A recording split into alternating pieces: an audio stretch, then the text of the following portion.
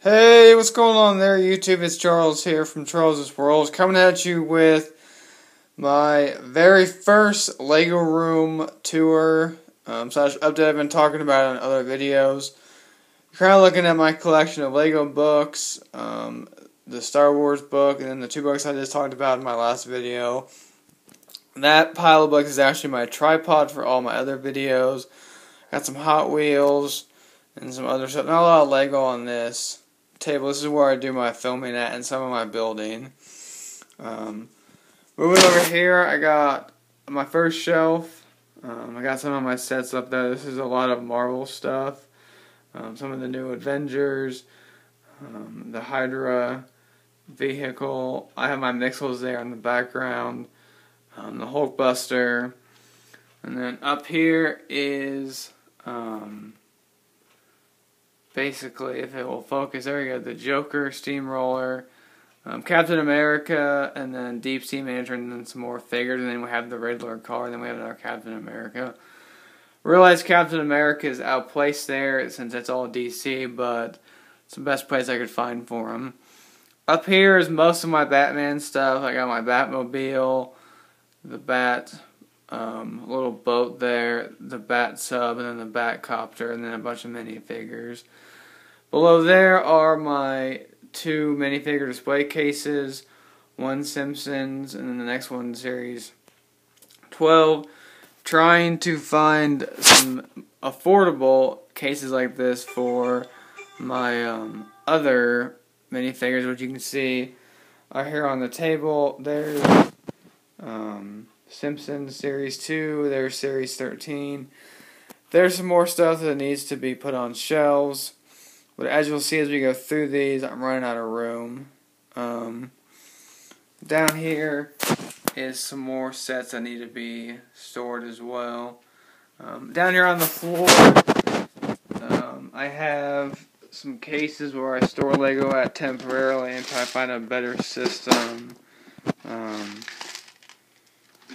and then I have so that, and then right here is where I store a lot more of my bigger pieces that I'm working on for MOCs.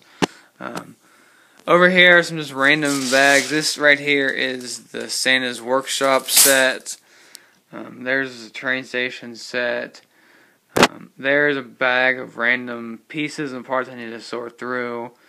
Um, there are, I'm not sure why I'm saving those. Um, but those are all the minifigure bags. And then here is my recent haul from um, Big B. I put all his pieces I got from him in there. That's all the sports arena stuff. Um, and here I stole this idea from another YouTuber, but this is where I put all my instruction booklets. Um, as you can see, there's Lego DC, Lego movies, um, and then back here, I also keep all my series, little pieces of paper. Um, so that's kind of cool. I have my invoices and stuff in there as well.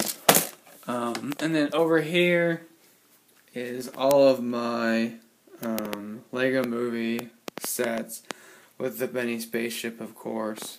Um, and then up top here, ignore the codes is all my boxes, my loot crate boxes, things like that. Um, over there, non-Lego, but it's um, my comic book collection, my fish. Yes, I do try to play golf as I move around the room here. Here are some more sets that need to be, that are kind of just hanging out. Here, that's a Milano. Um, that's a mixture of superhero sets. Realize if you're Marvel, DC, want them all together, they're kind of intermixed. And then over here are two more of shelves. Um, these are some more DC figures and sets. And then up there is a mixture of both. Um, so that's kind of it as I scroll around here. That's a lanyard collection from all the conferences I attend. Here are all the loot crate buttons I talk about. Um, so, and I have some more Lego in the hallway. Um, and those are where all of my, um, those are where all of my um, micro builds are at for Star Wars. I'll put a picture of that in the end of this video. Um, I hope you guys enjoyed the tour. It's definitely a work in progress. As you can see, I, I'm running out of room here. Um, but we'll see what we can do to make some more room and, and put some more stuff up on display. Until the next video, guys, take care and thanks for watching.